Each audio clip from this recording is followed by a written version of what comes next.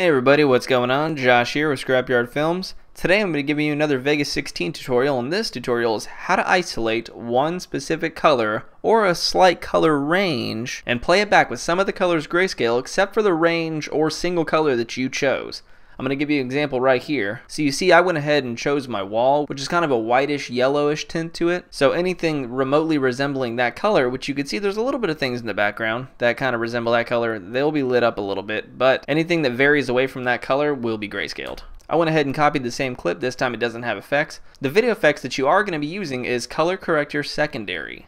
So you just click that one and then go to default and drag that onto your clip. It brings open the details. So the first thing you're going to do is click on the color that you want to keep. So I'm going to go ahead and still keep my yellowish white kind of color. When you click it, it doesn't look like anything's going to happen. So what you want to do first is turn your saturation all the way down. And you'll see it's starting to go away. Now we want to do invert mask.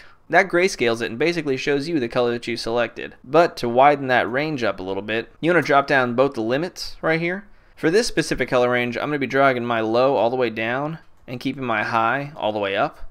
And I'm going to leave smooth right there for a bit. Then I'm going to go down to limit saturation, do the same thing. Drag that low and then back high all the way. But when I do this, it's going to show almost a little too much yellow. It's going to be like in my hair and on my cheek. You know, like right there. You see? So we want to get rid of that. And to do that, you're going to mess with the saturations high and smooth. So first, let's bring this to about half or so. And then we're going to drop the high a little bit and see what happens.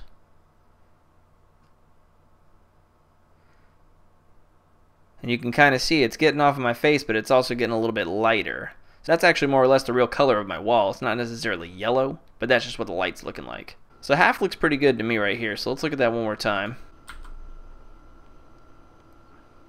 So that actually doesn't look too bad. I have isolated my wall's color and that's the only thing that's coming up. There is a little bit of reflection, like right over my chair, that you see a little bit of hint of yellow, maybe a little on my shirt.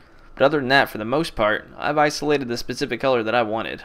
And that's pretty much it. Now this system isn't perfect, but it is awesome. But you do have to mess with the lows, highs, and smooths of the luminance and saturation to kind of get what you want. But it is going to take a lot of practice to get the perfect thing. But if this video helped you out at all, don't hesitate to do the trifecta and like, subscribe, and share because that'll really help me out and I'll see you guys in the next video.